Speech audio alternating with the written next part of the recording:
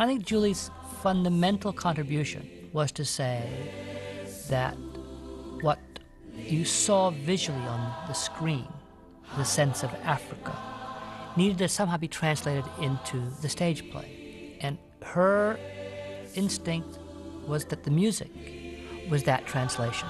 She re emphasized or made more important the African element of the film, too.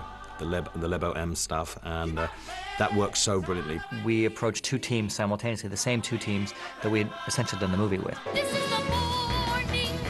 So we went to, to Elton and Tim and spotted three different places for them to write songs, and they did that. It was the Morning Report, Chow Down, and The Madness of King Scar, which opens the second act. And we said we need these three story points to be told.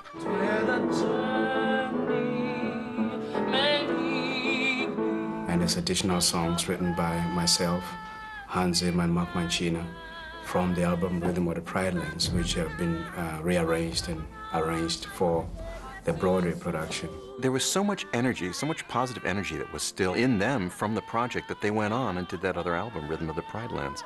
Rhythms of the Pride Land became such a key and instrumental piece of the stage show. The Broadway show wouldn't exist without them having done that album. It's interesting how one thing just grows out of the other. And Lebo M and Mark Mancina taking the sounds of that album, of weaving it in, created the chorus and the Africanization of the Broadway show, which I think is the essence of what people find so powerful. But in that case, it was very difficult because if you look at the range of music in the Lion King stage musical, we have everything from sort of traditional African, Chinese, uh, and then we go into British pop songs. Goes all over the place. And in, in that situation, you have a live band in a pit that has to play all of that. It's not, you can't have recordings, you don't have sequences. You have a live band that has to have that range. It was an interesting problem, but it was exciting because of the fact that it's, it's organic and it's all performed and all played every single night live. And the more live I could make it, the more tactile and really feel uh, like a, a, a totally present event, the more exciting I think it could be as theater.